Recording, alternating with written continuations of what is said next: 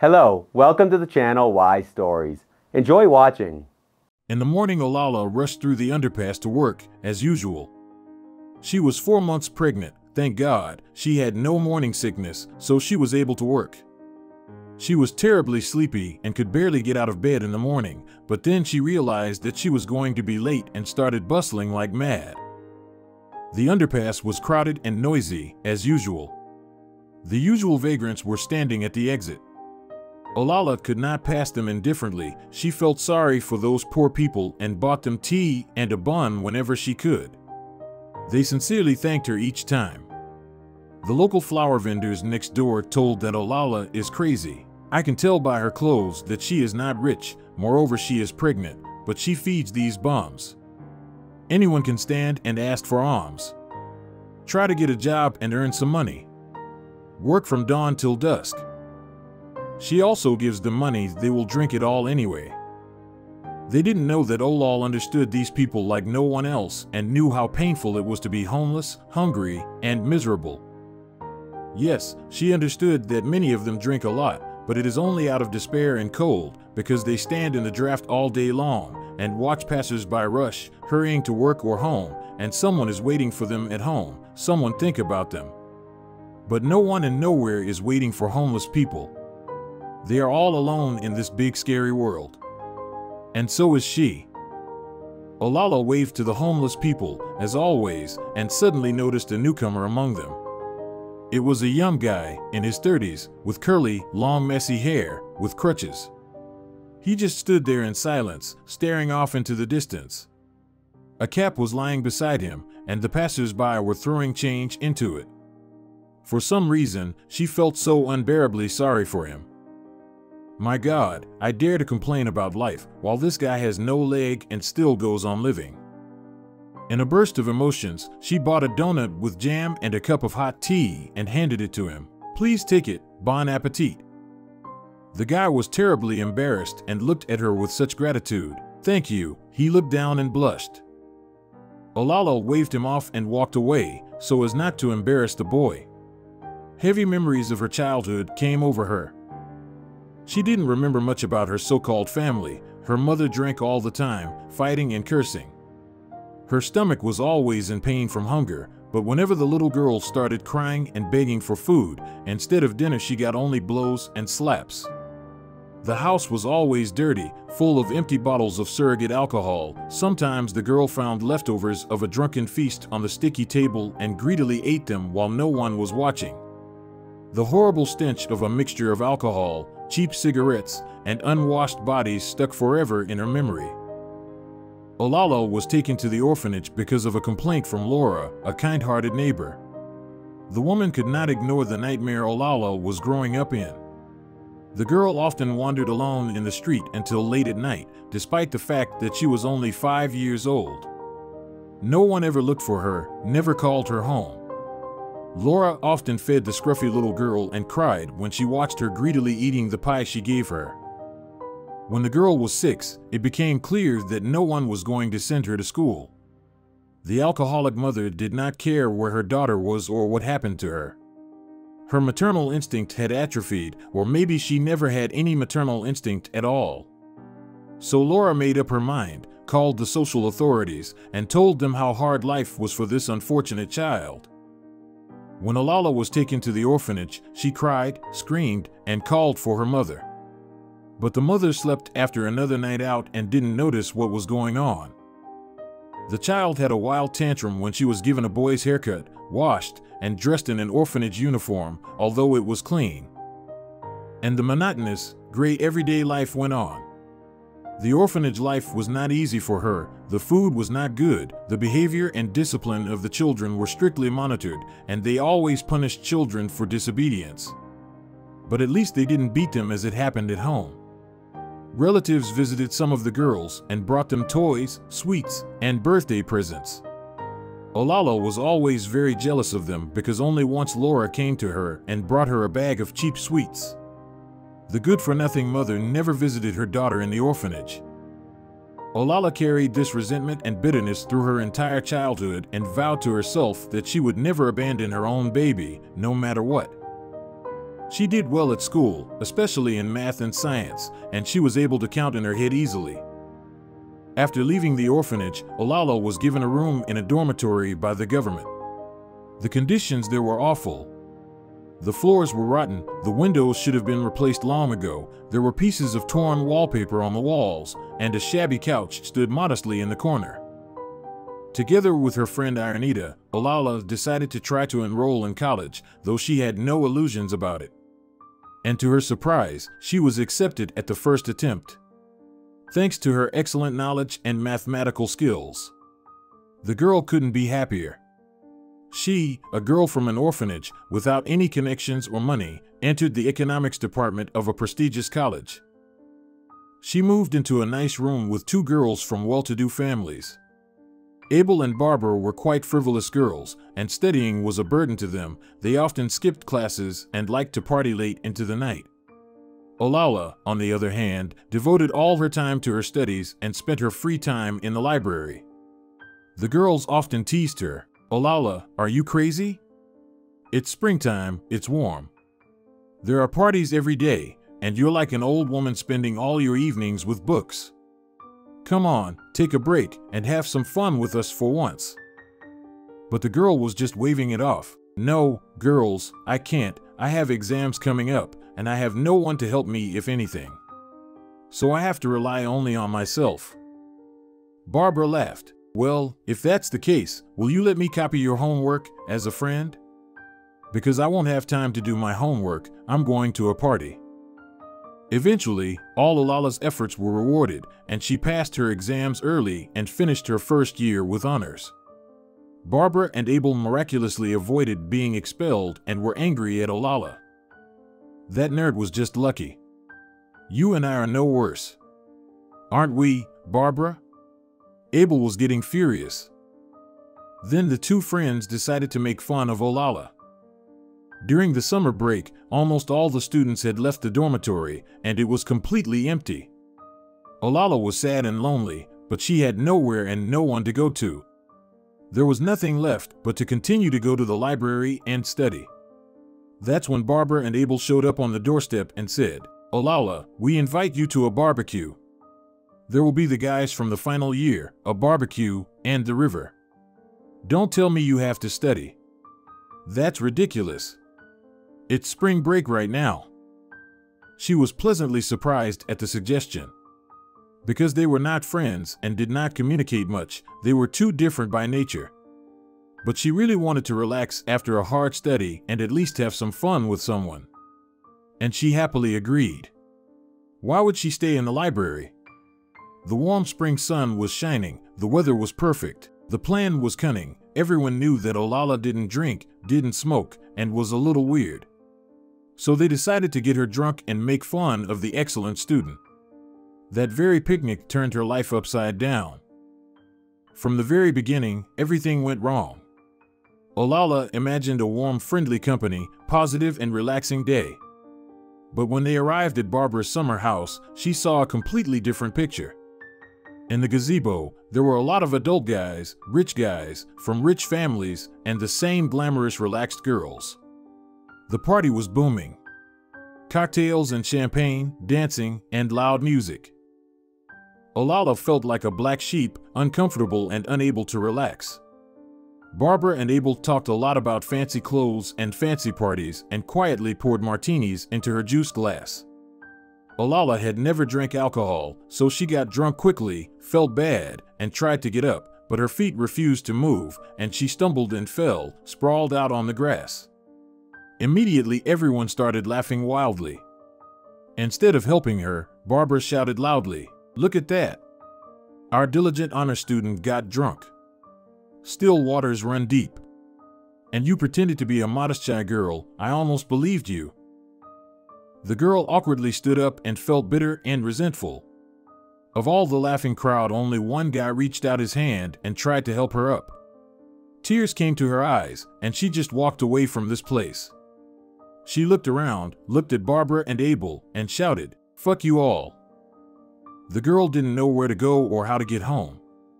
The summer house was outside the city, and the terrain was completely unfamiliar. She walked along the dusty road and cried profusely. Her bruised knee hurt, and the girl scolded herself. Why did I come here? What was I hoping for? That they would treat me like I am one of them? What I was thinking about. I am just an orphan, no one needs me. Suddenly, a car pulled up behind her and someone called out to her, Olalla, wait. Get in, I'll take you to the dormitory. I'm Daniel, I'm a final year student. The girl stopped and looked incredulously at the handsome, athletic guy. He was the one who had tried to help her. She wanted to refuse, but she looked into his honest, kind eyes and something about him evoked trust. She wiped away her tears and got into the car in silence. I can't walk home alone anyway. The guy reassured her the whole way. Don't be angry, they're just drunk and stupid. Without their wealthy parents, they're nothing. And you're great. You're strong and brave. I know you're a straight A student, and I like you a lot. You're different, you're real. The girl said angrily, Dash, come on. I'm not your equal. I'm just an orphan. I don't have a rich daddy who will solve all my problems and give me everything I need. And you're one of them, aren't you?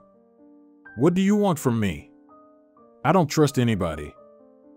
The boy put his hand quietly on her shoulder. You can trust me, and suddenly he kissed her on the cheek. That burning, defiant kiss made the ground fall from under her feet. Her heart raced and her feet felt padded. She had never felt this way about anyone before.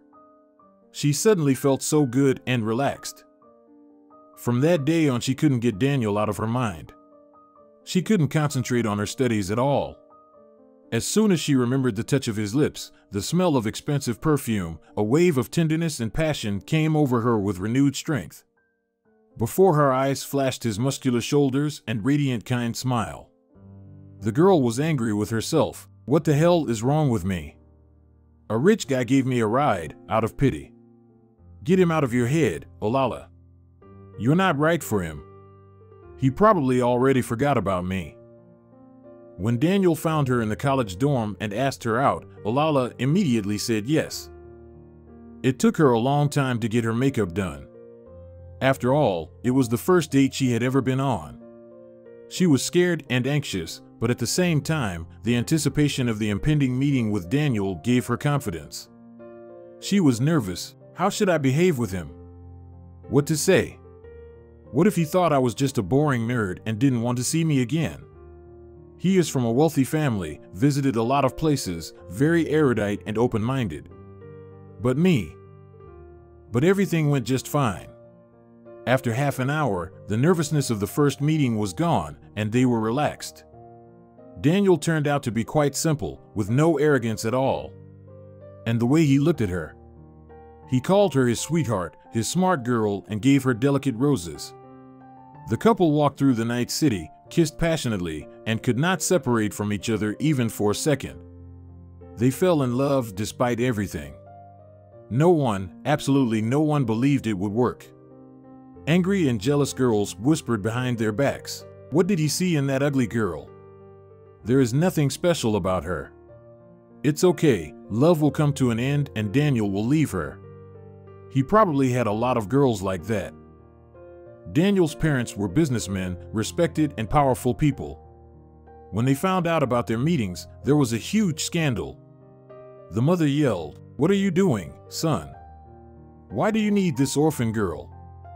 Your father and I have already chosen a girl for you from our social circle. A deputy's daughter, a beauty. What do you see in this Olalla? Daniel was shocked by the cynicism of his parents and shouted back, Dash, how can you not understand? I love her. And I will be with her, whether you like it or not. It's my choice and my life, and it's up to me to decide what to do with my life. Then his father banged on the table. Oh, really? Are you going to go against your parents' will? Then go and earn your own money for you and your girlfriend. I won't give you a penny anymore. You haven't worked a day, you're used to living at my expense. Let's see what you can do without my money. But Daniel was determined not to give up his love. He packed his bags and left his parents' mansion. Benedicta, Daniel's mother, yelled at her husband in tears. Salomon, why are you so harsh? What if Daniel left forever? What if he's not going to come back home? The man smirked. Calm down. He'll be back in a month, he's not going anywhere. He's a student, he hasn't worked anywhere for a day. It won't take him long to realize there's no money. It will be a good lesson for him. The couple began to live in Olalla's room. It was very difficult for Daniel to adapt to such harsh conditions after a luxurious life. He had to get a job as a cab driver, he tried hard and worked really hard. All for his beloved Olalla. When Daniel gently touched her and whispered words of love in her ear, the girl melted and tried to give her fiancé even more love and affection. She pressed her whole body against her beloved and thanked heaven. No one had ever loved her like that. They did not notice neither the old sofa nor the creaky floors. They had almost no money, but they were happy together, and everything else was not important. On that fateful morning, Daniel had to return from his night shift. Olalla had made Daniel's favorite pasta and was joyfully fussing in the kitchen. An hour passed, and he still wasn't there. At first, the girl reassured herself, It's okay, Maybe he stayed late at work or met someone on the way home. Alarm gradually increased in her soul, then panic. When the phone rang, something rumbled inside with a bad feeling. A strange, cold voice informed her that Daniel died in a car accident. Her hands shook, her feet faltered, her mind went dark, and she collapsed to the floor without feeling. All the events that followed were as if in a fog the funeral, the pain, and the terrible, unrelieved grief. Right at the cemetery, Daniel's mother, seeing Olalla, threw a terrible tantrum, she howled and screamed, Damn you, orphanage snake! It's all your fault. My boy is gone now because of you. Get out of my sight. How dare you come here? But Olalla didn't hear her and didn't react at all. She just stood there, unable to move, and cried silently. The next college year began, and Olalla, like a robot, visited all the lectures, went to the library, returned to her room, locked the door, and cried. She screamed, My God! Why? Why did you punish me this way? Why did you take away the only person I ever loved? She was lying down on the couch, clutching Daniel's shirt to herself, greedily inhaling his scent, sobbing endlessly. Olalla thought of his sensual lips and the strong, gentle arms that embraced her every day. She felt as if the door were about to open and Daniel would come in and say, Hello, my love. I'm home. But the days dragged on slowly, and he was still gone. She refused to accept that it was forever. Olalla almost didn't eat, she lost a lot of weight, and she began to vomit in the morning. When she finally figured out what was wrong and decided to take a test, her worst guesses were confirmed two lines she was pregnant. All her feelings were mixed, her thoughts confused. What a blessing, I will have a baby with my beloved, with the meaning of life. The baby of the only person I have ever loved, she thought. And then panic started to set in. But how can I raise him alone? Where am I going to get the money now? I won't even be able to work for a long time. What about school? Will I be able to cope? In a burst of emotion, she went to Daniel's parents' house and told them everything honestly. I still love Daniel, I feel so bad. And I'm pregnant. You're going to have a grandchild. But I'm so scared to be alone with a baby. What should I do? She hoped that upon hearing the news that they were going to have a grandchild, they would feel something different towards her, would be happy, and help her in some way. But Olalla was wrong. She was humiliated, insulted, and kicked out of the house with the words, Dash get out of here, slut. You got pregnant by someone else and expect us to support someone else's child. You'll get nothing from us. And don't even try to blackmail us or ask for money. You won't get a penny. All orphans are sneaky, and you are no exception. You thought that because we lost our son, we would believe any nonsense out of grief? What a rascal!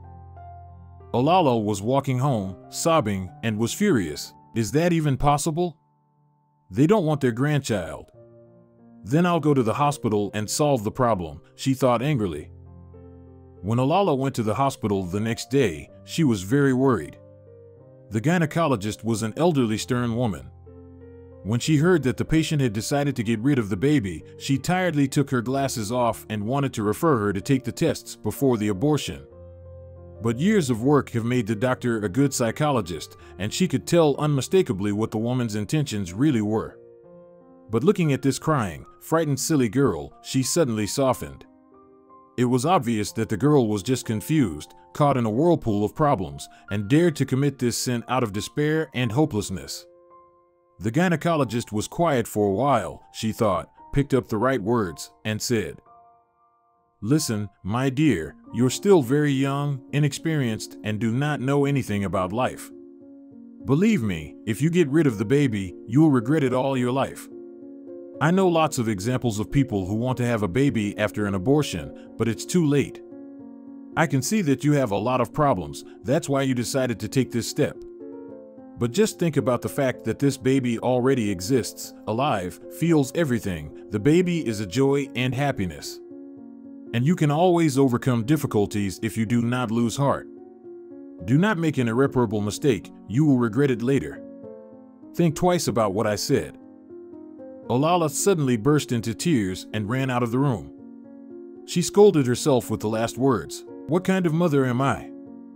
I swore that I would never give up my baby.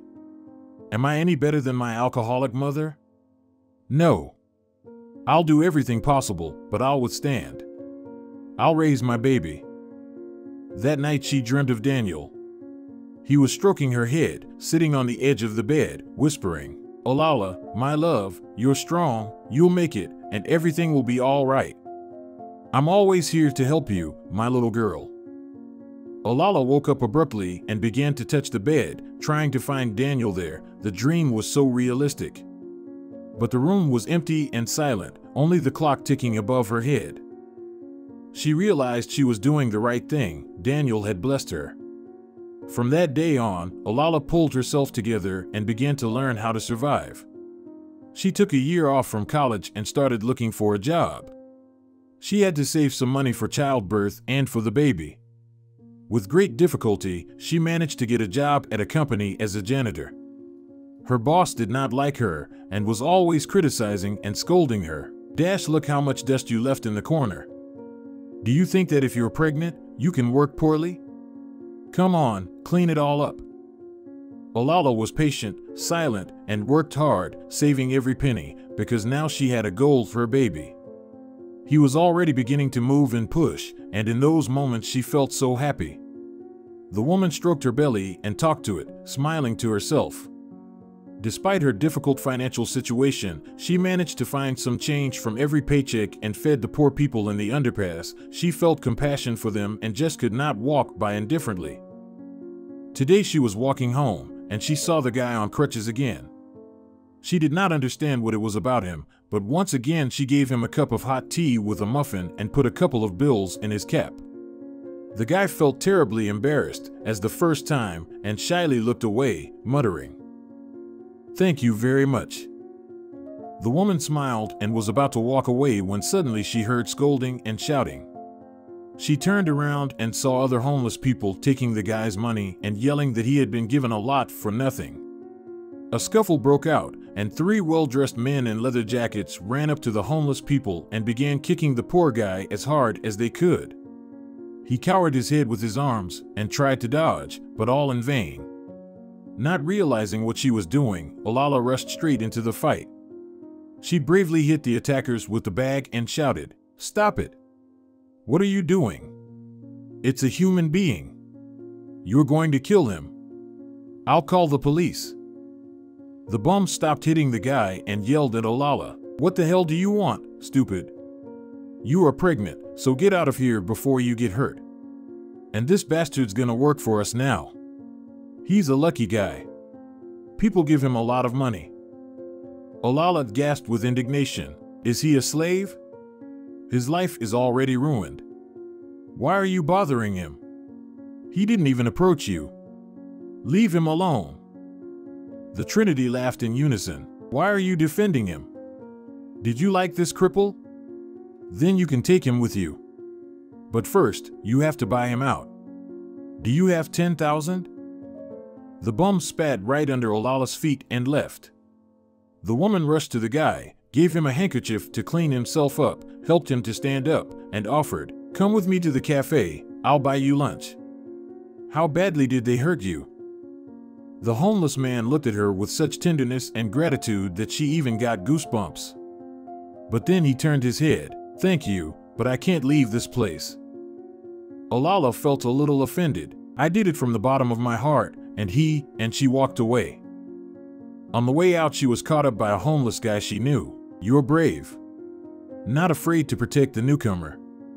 Don't be offended, he's kind of weird. He keeps quiet all the time and doesn't say anything about himself. We don't even know his name. He's like a mute. All night long and in the morning, Olalla could not get this guy on crutches out of her head. His look, his smile, his deep blue eyes. Once again, it was like an electric shock went through her body. If you fall in love with a bomb, you'll be crazy. Think about the baby, Olalla scolded herself and tried hard to get the guy out of her head. She had not yet entered the underpass, but her heart was already beating frantically in anticipation of meeting the mysterious homeless man. What a disaster. Again? What's happening to me? Olalla didn't understand herself. But today the guy just surprised her. He silently gave her a small rose, delicate, white, and amazingly beautiful. And he embarrassingly said, I was waiting for you. I was afraid you wouldn't come. This is for you. Olalla blushed and felt embarrassed. She was so pleased by this. Now every morning they crossed paths, talked a little about this and that, but the main thing was the way he looked at her. She knew that kind of look. Only her beloved Daniel looked at her that way. Olalla had no idea what was happening to her. She could barely wait to see him again. All her thoughts were of him. Inside, she was filled with warmth, as if butterflies began to flutter in her stomach. Even the baby was quiet and stopped kicking. She was angry at herself. God, what is this nonsense? This is just some kind of obsession. I need to pull myself together and stop thinking about him. I'm pregnant by another man, and this guy is a bum and he's disabled. Why do I even want all of this? And he doesn't need it either. But no matter how many times Olalla repeated it to herself, every time when she approached the underpass, her heart skipped a beat. These strange encounters lasted a week. One day, Joyfully entering the underpass, Olalla looked at the place where her mysterious friend was always standing. But he was not there. She turned her head a hundred times in a daze, and tears began to drip down her cheeks. How could it be? Where had he gone? What a fool you are, Olalla. What did you want? To have him, like a faithful knight, waiting for you here forever? That's it, the good fairy tale is over. The woman felt so bitter and resentful, her mood completely ruined, she could hardly pull herself together and gloomily walked to her hateful work. Immediately everything around her became gray, the sky became gloomy, and life became hard and hopeless. She struggled through her shift and walked home to an empty room where no one was waiting for her. Suddenly, right at the intersection, the woman saw a police squad arresting the very thugs who had beaten the guy in the underpass. A young lieutenant was the commander. She looked closely and gasped. It was the lame bum from the underpass. Her mysterious and enigmatic knight. Only he wasn't lame and he wasn't curly at all. But a slender and athletic tall blond man with a short haircut. But his eyes. It was those same deep blue eyes. It's definitely him, there can be no doubt. What a twist. Olalla didn't notice that she had been standing there for 10 minutes with her mouth open and her eyes round, unable to move. When the lieutenant saw her, he rejoiced and approached her. Embarrassed, he began, Hello. I'm sorry about that. But I was on a special operation and simply couldn't tell anything about myself. It's my job. My real name is Ignacio. Are you mad at me? Tell me honestly. Olalla just caught the air in her mouth, unable to say a word. She was completely confused. and the words stuck in her throat. Ignacio suddenly took her hand and said softly, I have to run now, but let's meet tomorrow at our underpass. I asked you out on a date. We have a lot to talk about. Will you come? Olalla glowed and nodded. The boy continued to supervise the arrest, and Olalla rushed home as if on wings. She kept scolding herself all the way. Damn it. Don't you dare. What about Daniel? What kind of date could there be? Are you out of your mind? There's no way he could just fall in love with me, I'm pregnant. It's unrealistic. I have to stop this whole thing. I'll probably come to this meeting, just once. Just to talk and explain everything to him. All the next day, Olalla was not herself. She thought a hundred times whether she should go or not. Eventually, at the appointed time, she came to the underpass. Ignacio wasn't there. Olalla became angry. Here we go again. He showed up and asked me out, then disappeared. What the hell, he's like a damn mysterious wanderer. She was about to leave when she saw Ignacio running toward her. He was holding a lovely bouquet of wildflowers and waving his hands cheerfully.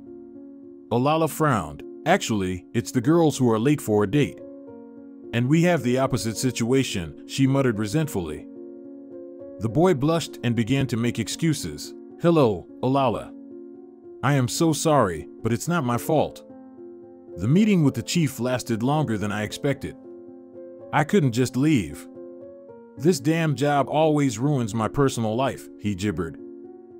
The woman sensed he wasn't lying and instantly forgot about her resentment. She asked, So where shall we go? Or are we just going to stay in this underpass, out of habit? Ignacio blushed again. Let's go for a walk in the park. The weather is really nice. My paycheck is only next week, and I'm completely out of money, so I can't invite you to a restaurant. You know what our salaries are. But I promised delicious ice cream and a lot of fun, he said honestly. Olalla was not upset at all, on the contrary, she liked the fact that he was so honest and open about it. She did not want to go to any restaurant, and it would be good for her and the baby to take a walk and get some fresh air. They walked slowly through the alleys and talked. Olalla asked, Tell me a little about yourself, because you're like a mysterious Mr. X. I don't know anything about you. Ignacio sighed, There's nothing to tell. I was married, and now I'm divorced. My wife left me for a rich businessman, she cheated on me. At first, I thought I would lose my mind. I felt so sick and did not want to live. So I joined this special operation, despite the risk I had nothing to lose. I loved my wife very much, I never hurt her. But what could I give her?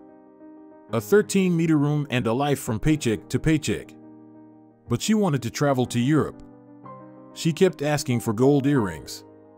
She kept telling me that I have to take bribes or go into business. But no matter how hard I tried, I couldn't explain to her that it wasn't my thing. I really love my job, although it is difficult and sometimes very dangerous, I do not want to quit. But alas, it is not compatible with my personal life. How many women would be willing to wait for their husbands from the eternal ambushes and urgent missions? Olalla said thoughtfully, I don't know. I think if you love someone, you can survive anything together. I also loved my fiance very much, and he loved me too. He went against his parents for me, he gave up his wealth. We were very happy. We wanted to get married. The woman suddenly stopped talking. Ignacio said quietly, And what happened? Did he fall out of love and leave you? Why are you alone now? Olalla sat down on the bench, took a deep breath, and spoke. No. He died. He died in an accident. I'd give anything in the world to have him back. Daniel was the best. After he died, I found out I was pregnant. I told his parents, I thought they'd be happy. Alas, they humiliated me and kicked me out. That's my sad fate. I don't know what to do next. I found a temporary job for now, but then. The guy was shocked. What about your parents? Didn't they support you? My father helped me a lot after my divorce, with kind words and good advice. Olalla became even sadder. I'm an orphan, I have no one. Or rather, my biological parents exist somewhere, but they don't care about me. I was taken to the orphanage when I was five, my mother drank heavily, and she never came to see me. And you know, I swore that I would never abandon my baby and give him everything he needs. Oh, why am I telling you all this? You don't have to worry about my problems. I'm sorry. Olalla said. Ignacio took her hand and said softly, Dash, you are not alone now. Remember this. I know you miss your husband, you still love him, and I don't want to make your life more difficult now. Let's just be friends, okay? I really like you. I won't hide it. I certainly didn't think I'd fall in love with a stranger when I started that special operation. But it happened, so don't push me away. Just let me be there for you and help you. Just like that, from the bottom of my heart. Olalla and Ignacio became best friends. They trusted each other and shared their sorrows and joys. The woman could not believe that she finally had a soulmate, someone who would always listen to her, would not judge her, and would support and help. But she did not even think about intimacy with Ignacio. Although, frankly, she liked him madly, and she realized that these feelings had nothing to do with friendship. Her heart fluttered every time he touched her casually. But she stubbornly pushed the thoughts away, deliberately hiding this feeling to the farthest corner of her soul. She often thought about Ignacio at night, remembered Daniel, and compared her feelings and sensations. I shouldn't love him. It's not right. Because I am betraying Daniel. What am I going to tell my baby? Your daddy died, and I immediately fell in love with someone else. And why would Ignacio want someone else's baby? He'll get scared of responsibility and run away. And then I will suffer. But she could not deceive herself. Her whole being was attracted to Ignacio. She wanted him so badly that only a tremendous effort of will could help her to control herself. Ignacio didn't seem to notice any of this and became Olalla's guardian angel. He was always there, helping to carry heavy bags, massaging her swollen legs and lower back, helping to fill out documents, and secretly putting money in her purse and food in the fridge. He always chose only the healthiest foods, fruits, and vegetables. And at night, he would grind his teeth and growl into his pillow. God, why am I such an indecisive fool? I accepted the role of her friend. But I love this funny girl with a belly as big as a watermelon. I love her more than life. Doesn't she see that? Doesn't she feel anything? I'm sure she has feelings for me.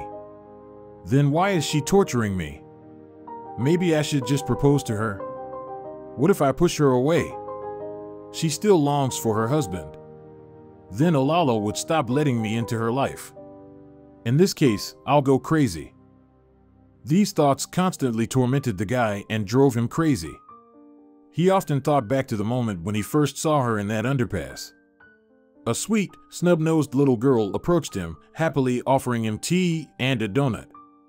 Knowing that he was homeless, lame, and miserable, he could not believe that there were such selfless people in this cruel world, people capable of compassion and help. And when he looked closely and noticed her big belly under her blouse, he was amazed. She's pregnant, and she's obviously not rich, but she's still willing to spend money just to help the homeless. Her playful laughter, her thick lashes, and the turn of her head stuck in his heart at first sight. When suddenly in the middle of the night Olalla's water broke and she felt severe abdominal pain, she was frightened to death, and out of habit she immediately dialed Ignacio. Ignacio, sorry to wake you, I think I'm in labor. What should I do? I'm so scared. The guy answered calmly, Don't panic, I'm calling an ambulance and I'm on my way to you. Everything will be fine. I'm here for you. And immediately Olalla felt better. Ignacio walked back and forth along the hospital hallway, waiting for the news, but two hours had passed, and the doctor did not come out. Finally, the door opened, and a worried nurse ran out. She shouted, Are you the husband? Ignacio did not hesitate to answer, Yes, what happened to her? The girl said, She turned out to have a very large fetus, and she needed emergency surgery. The woman has lost a lot of blood and is in intensive care. A transfusion is needed immediately. What blood type are you? The scared guy said, B positive. The nurse was relieved. Great. Would you be willing to donate blood for your wife? Ignacio quickly replied, What kind of question is that? Of course. As long as she gets better. Olalla woke up in the ICU and wanted to get up, but a sharp pain in her lower abdomen pierced her body. She even cried out. A nurse ran up to her. Don't get up so sharply, you can't stand up yet. The stitches might come apart. Olalla turned her head, and not finding the baby next to her, she screamed in panic. What's wrong with me? Where's my baby? Why isn't he with me? Is he alive? The nurse reassured her, Don't worry, you have a boy, 4 kilos 200 grams. We had to perform surgery and your husband agreed to be a donor. In fact, he saved both of your lives. The worst part is over, you're going to be fine, don't worry. Olalla was shocked. Wow. Ignacio saved her life without hesitation. So, was he really in love with her? She was immensely grateful to him for everything. And yet, she lay there thinking, Daniel, I know you can see and know everything. We have a little boy. I'm going to name him Eduardo. Like your dear grandfather, whom you told me so much about and loved so much. Congratulations, my darling. The nurse brought the baby and handed him to Olalla. You can hold your little boy. When she picked up her rosy cheeked, plump baby, an avalanche of happiness and tenderness came over her. It was a different kind of love, blind, boundless, and all consuming. Olalla was breastfeeding Eduardo, and he was eating funny, and it amused the young mother. Then she kissed his nose, his tiny fingers, and the tears rolled down her cheeks from bliss and happiness. Only now the words of the wise gynecologist, who had talked her out of a fatal and irreparable mistake, reached her in full measure. She could never forgive herself for such a sin. Olalla whispered in the baby's ear, My darling son, I'm so happy to have you. A week later, Ignacio came to pick up Olalla with flowers and balloons. For some reason, he was terribly nervous and anxious, shifting from foot to foot. The nurse shouted at him, Dash, why are you frozen? Daddy, come on, take your son. Your son is very strong, very much like you, and she handed the baby directly into the hands of the guy.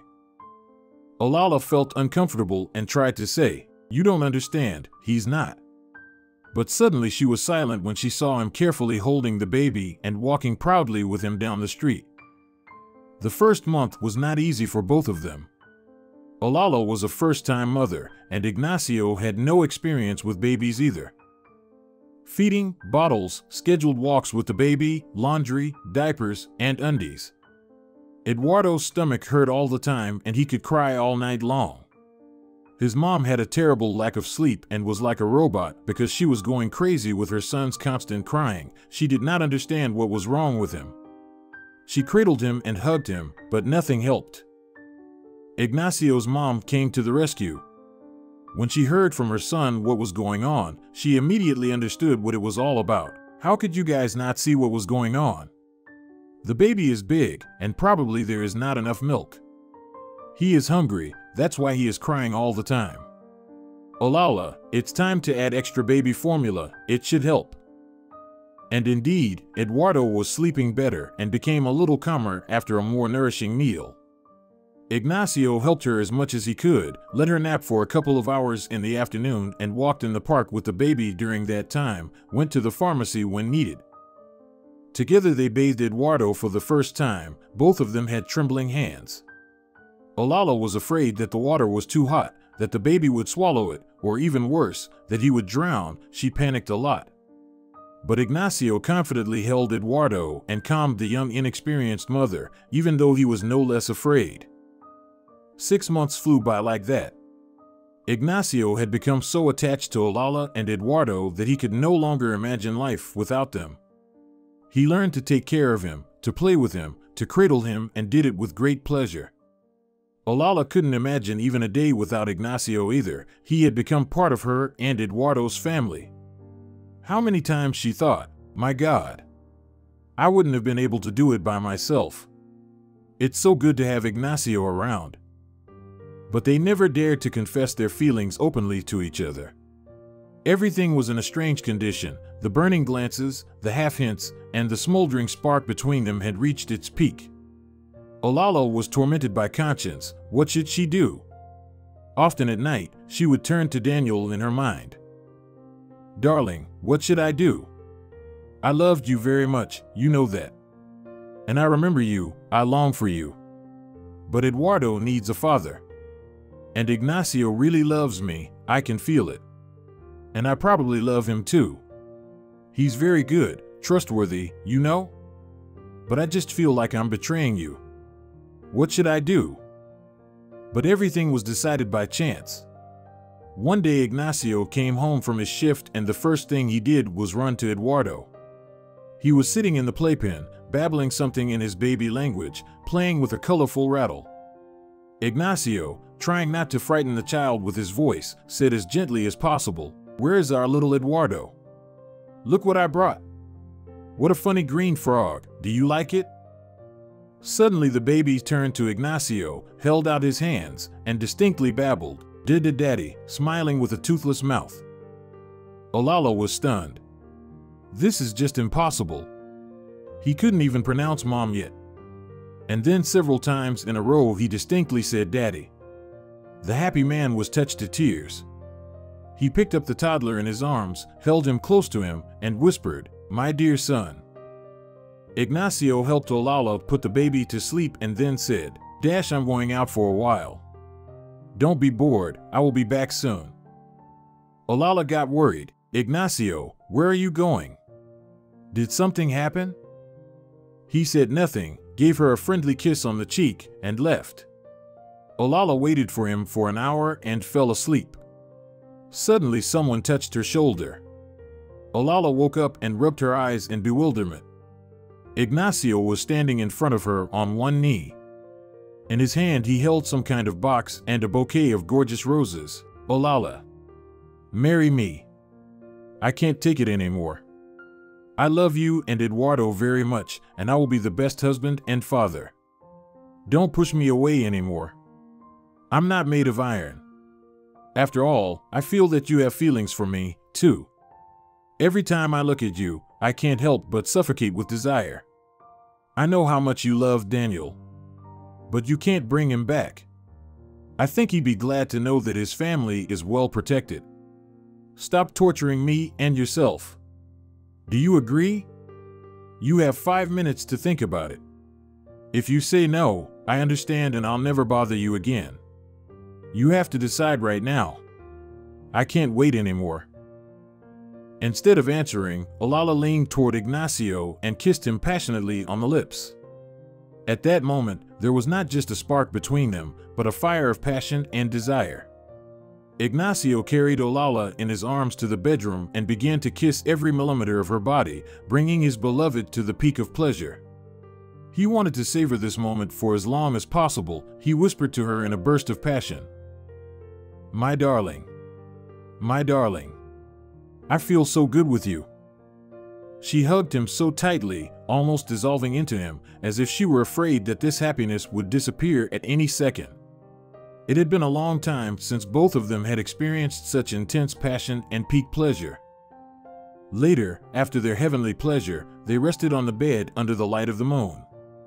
Olalla rested her head on his chest and listened to his steady breathing, and even asleep he still stroked her tenderly and put his arm around her waist.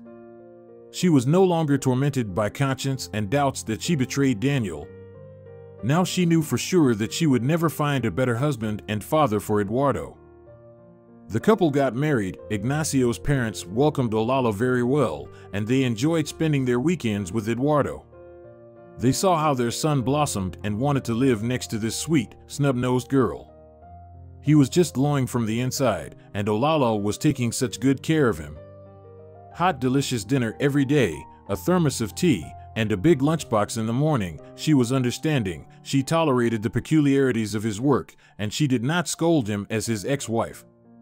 And the fact that she had a child was not a problem. His parents considered the boy their grandson and were ready to help raise him.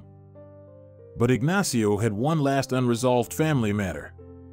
Ever since that heart to heart talk in the park, he couldn't understand how it was possible that the biological grandparents didn't want to know their grandson. It's just so inhuman. But Olalla flatly refused to talk about it. She was mortally offended and didn't want to talk to them ever again. They had insulted her for nothing, humiliated her, and did not support her at the most difficult time in her life. So her husband decided to talk to them himself without telling Olalla. He did not know why he wanted to do this, but he decided it was worth trying. The next day after his shift, he went straight to their house. He was very worried and didn't know what to tell them. How to start a conversation. There was a picture of Eduardo in his pocket. The little boy was smiling in the picture, showing his only tooth that had come out from the bottom. Ignacio had expected to see pompous, arrogant rich people because that was exactly how Olalla had described them. When he rang the doorbell, a tired old woman with traces of her former beauty opened it. She looked at Ignacio questioningly. Hello. Are you looking for someone? The guy hesitated a little. He did not know how to begin the conversation. Hello, my name is Ignacio. I need to talk to you. May I come in? It's going to be a long conversation. He was afraid that they would slam the door in front of him right now. After all, not everyone would agree to let a stranger into the house. But to his surprise, the woman shrugged and said, Well, come on in. In the room, there was a persistent smell of medicines. An elderly man, covered with a blanket, was lying on a bed. A blood pressure monitor was next to him on the bedside table. He looked drained and sick. He asked weakly, Benedicta, do we have visitors? Who is it? She answered aloofly, I don't know yet, Salomon, let's find out why this young man came to us. Ignacio didn't waste any time and started with the main thing. I'm Olalla's husband. Does that name mean anything to you? The old woman changed her face and answered angrily, Yes, it does. It is the viper that killed our son, Daniel. I hate her. Why did you come here? What do you want? The guy took a picture of Eduardo out of his pocket and handed it to the woman. And this is your grandson, Eduardo. He's six months old. Look closely, he looks so much like your son. I've seen his picture. It's still in our apartment. Olalla doesn't know I came to see you. You can love Olalla or you can hate her. But how could you give up on your grandson? I just don't understand. You have no heart. Think about what I said. We don't need anything from you. We're doing well with Olalla.